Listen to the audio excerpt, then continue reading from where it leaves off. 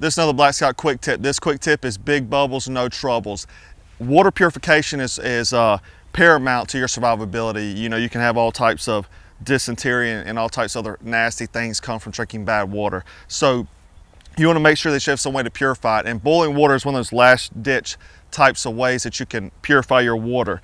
Micro, microorganisms and virtually all intestinal pathogens are killed at temps well below the boiling point.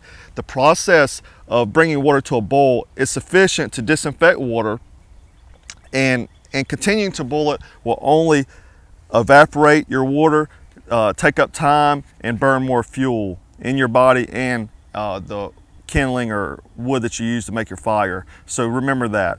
You want to bring it right to a boil, a rolling boil, and then that's when the pathogens are killed and it's safe to drink.